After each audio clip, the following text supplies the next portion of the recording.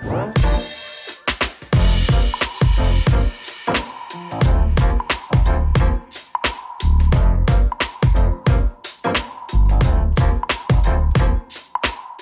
день, уважаемые посетители информационного портала ulpravda.ru. Это программа «100 вопросов» и сегодня наша героиня – министр искусства и культурной политики Ульяновской области Евгения Сидорова. Евгения Евгеньевна, здравствуйте. Здравствуйте. Вы приняли участие, э, приняли решение участвовать в нашей программе и пригласили нас в Музей современного искусства. Вам нравится эта атмосферность или таким образом вы хотели дать намек ульяновцам на то, чтобы они усилили музейную составляющую своей жизни? Ну, во-первых, в этот музей всегда очень приятно приходить, потому что несколько лет назад, два с небольшим, он был полностью реконструирован, и теперь он соответствует всем мировым требованиям к музею. Здесь открыто представительство Музея изобразительных искусств имени Александра Сергеевича Пушкина. Здесь работают очень творческие люди, заведующие филиалом, которые обожают и в Ульяновске, и далеко за пределами Елена Николаевна Сергеева. И здесь совсем недавно, на прошлой неделе, открывалась выставка лауреатов Международной премии имени Пластова, поэтому я преследовала еще и некую такую цель образовательную для вас, Диана, чтобы вы увидели выставку и, возможно, захотели рассказать еще и о выставке. Поэтому место встречи вот определилось таким образом. Наш любимый музей современного изобразительного искусства 20-21 века. Спасибо. А вы заботитесь обо мне, Евгения Евгеньевна. У меня такой вопрос. Во-первых, я поздравляю вас с назначением. А В минувший понедельник э, с десяток новых министров появилось, э, так сказать, в пространстве. Многие мини- фамилии многих министров стали для ульяновцев откровением. Но вот в вашем назначении не сомневался никто. Как вы думаете, почему? Ну, э, во-первых, я благодарю губернатора Ульяновской области Сергея Ивановича Морозова за оказанное мне доверие. Э, Я и до сегодняшнего дня, и, надеюсь, в будущем буду добросовестно исполнять свои функциональные обязанности и э, всегда с удовольствием произношу слова, которые для меня являются очень важными в жизни. Служу Ульяновской области.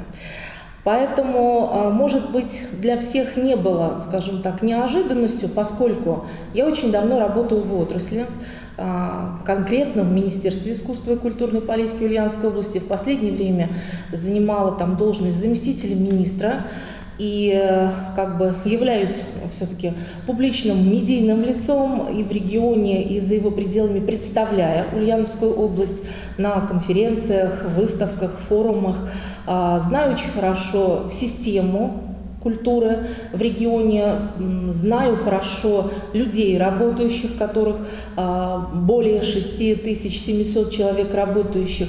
Хорошо знаю вообще регион, то есть нет, наверное, остаются какие-то небольшие а, поселения, в которых я за время своей службы не побывала. Ну, а поскольку ты выезжаешь, ты смотришь и э, объекты культуры, ты встречаешься, безусловно, с людьми, принимаешь участие в реализации проектов на территории. Поэтому, наверное, как-то вот люди за пять с небольшим лет в регионе привыкли ко мне, они меня знают, надеюсь, что они меня уважают.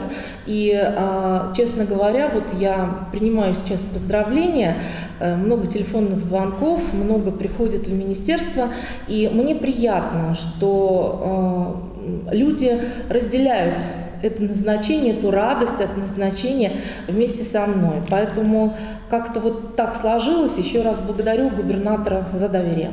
Евгения Евгеньевна, совсем скоро вы представите региону и губернатору Сергею Морозову стратегию развития культурной а, политики Ульяновской области.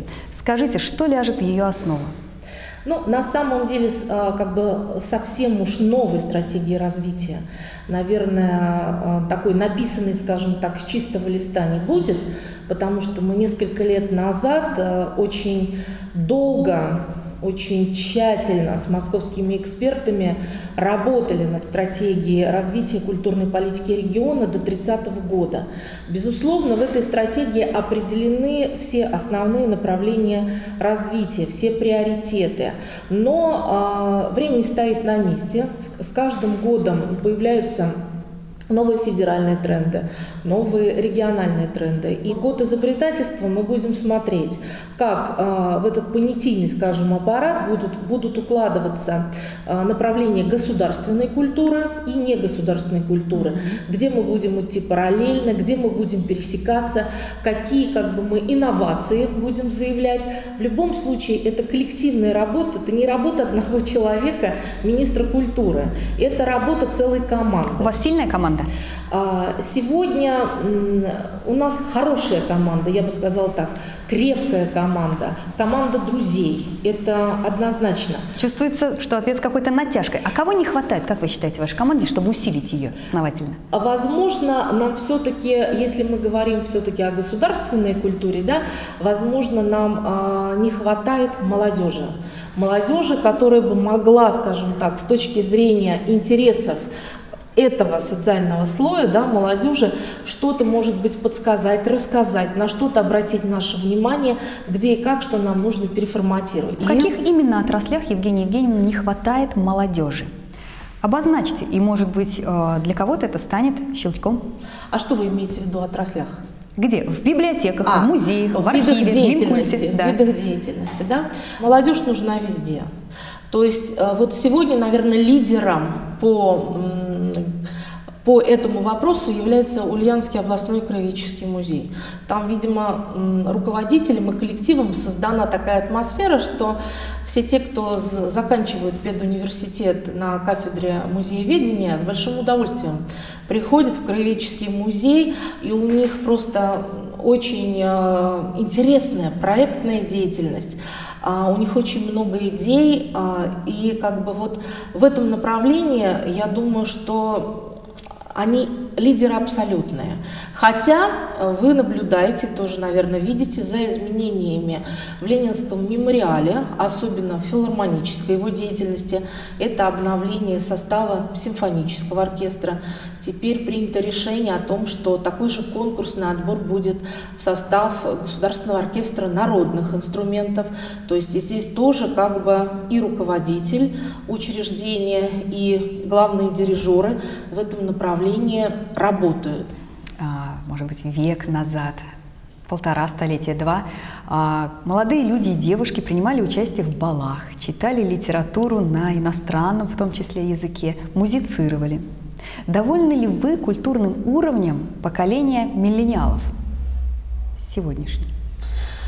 Ну, мне очень сложно давать оценку, может быть, пока сложно давать оценку культурному уровню, потому что, как и, скажем так, в любом возрасте, есть люди образованные не очень, есть люди интересные и не очень, есть люди профессиональные и не очень, есть люди воспитанные и невоспитанные.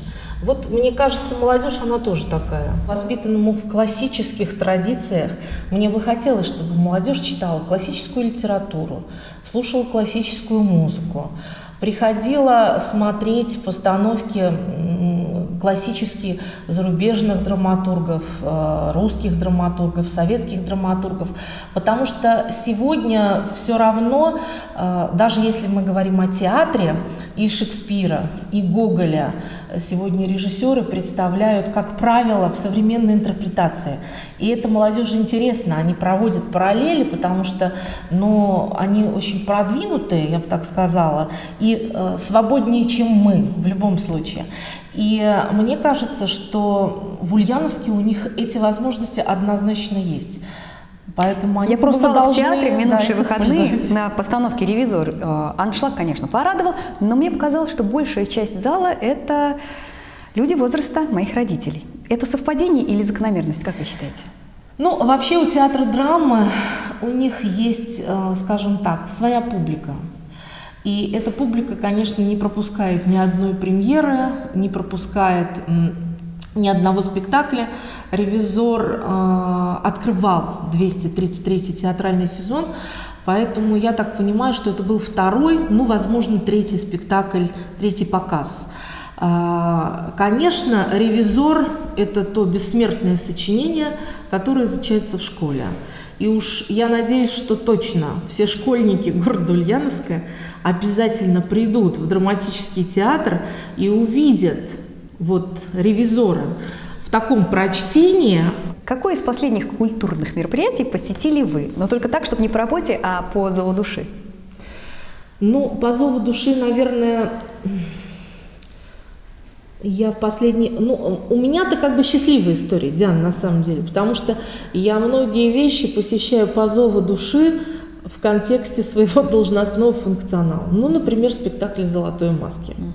То есть здесь все совпадает. Когда я шла на спектакль «Материнское поле», я понимала, что там не будет ни одной реплики. А, там нет текста, то есть это прочтение, пластический спектакль. Поэтому вот я для себя поставила такую задачу, и даже сегодня начала ее чуть-чуть реализовывать. Я скачала Чингиза Айтматова «Материнское поле» для того, чтобы перечитать, прочитать, не перечитать, а прочитать эту повесть и в своей голове сложить картинку окончательно.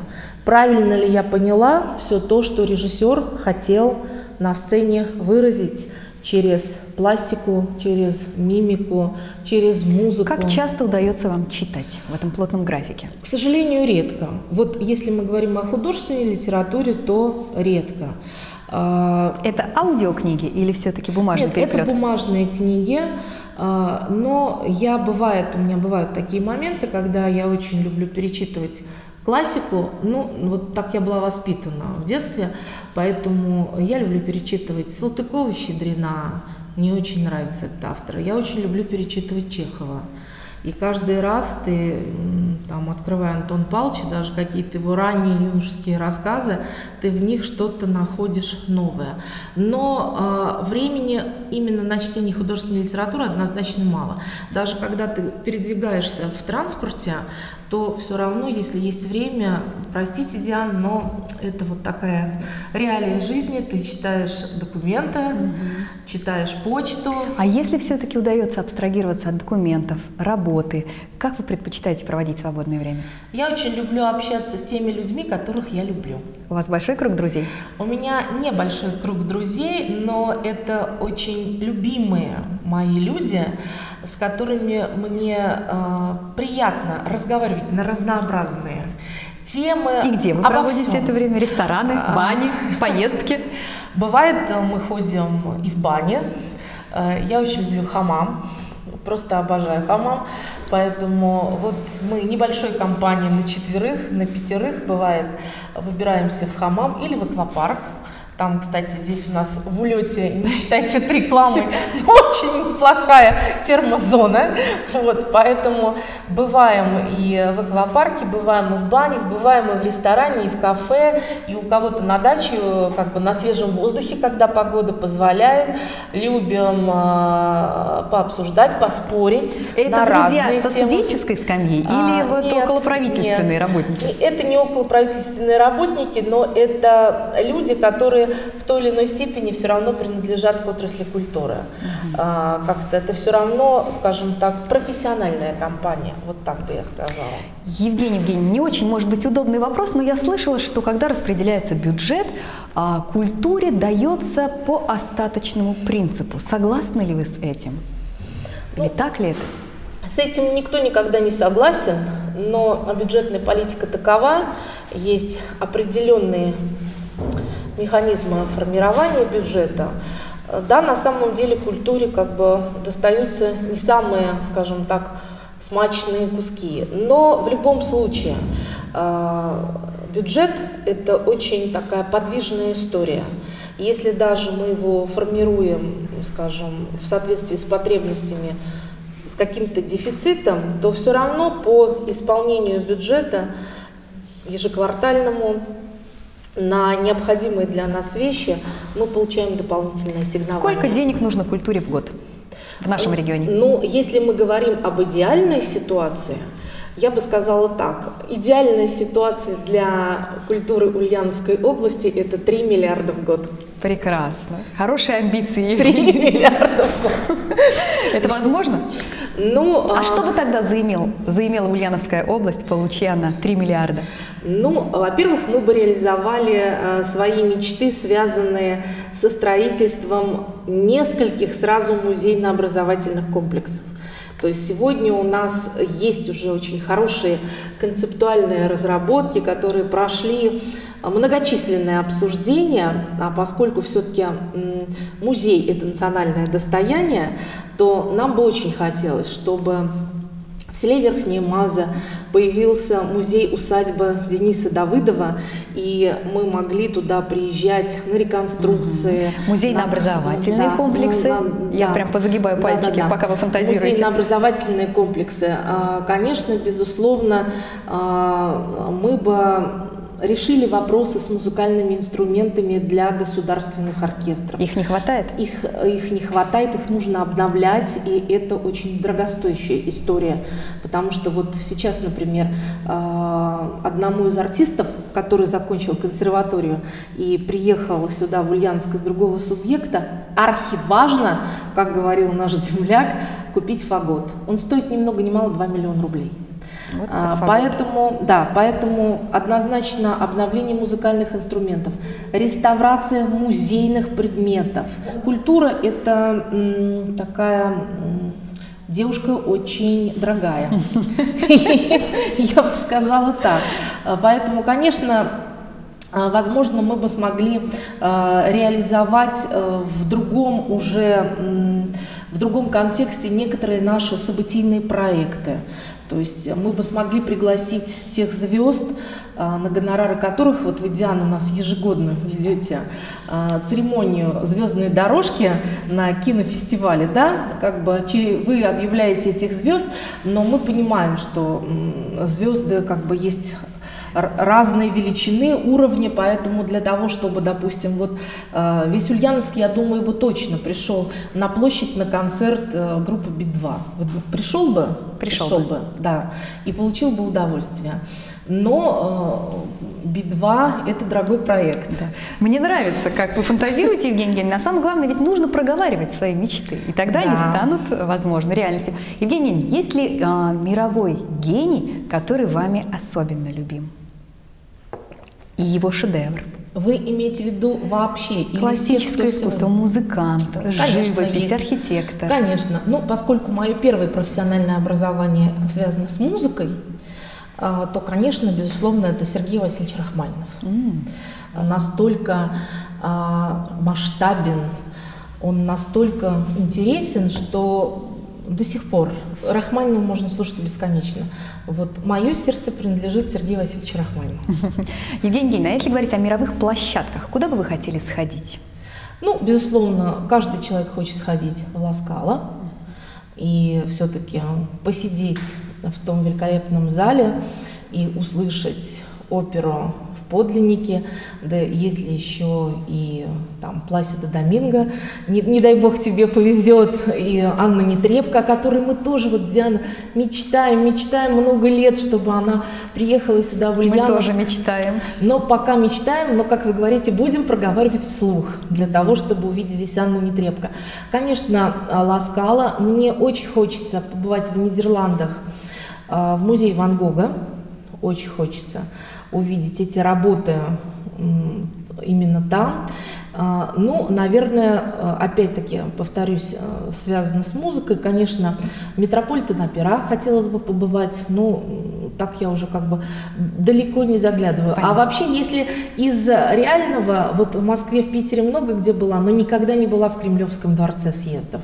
Вот, наверное, надо начать оттуда, посетить какой-нибудь концерт для того, чтобы побывать на этой площадке. Сменим тему, если вы не против, Евгений Евгеньевна. Вы замужем? Нет. И скажите, мама для вас это подруга или наставник? Моя мама это наставник. Правда? Какой совет или назидание, рекомендацию дает она вам чаще всего?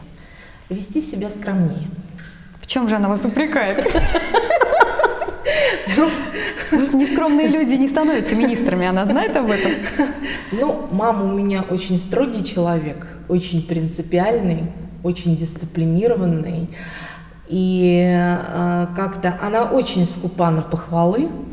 И вот, да, я с детства, так сказать, пребываю в очень таких, знаете, жестких домашних условиях. Наверное, отчасти это тоже для меня благо, потому что с детских лет я привыкла к тому, что есть зона моей ответственности, я не могу перекладывать ее на кого-то, должна отвечать за свои поступки, слова, решения. Поэтому мама, конечно, наставник. Вот она, скажу так, спокойно отнеслась к моему назначению, а, мудро, я бы сказала, отнеслась к моему назначению, но вот сегодня утром она мне сказала, иди с хорошим настроением, думай только о позитивном а, и, конечно, уважай людей и коллег, с которыми ты работаешь. Материнский совет, родительский, да. добрый. Евгений Евгеньевич, я знаю, что вы потрясающе поете. Это я знаю от людей в большом количестве. Они мне говорили об этом.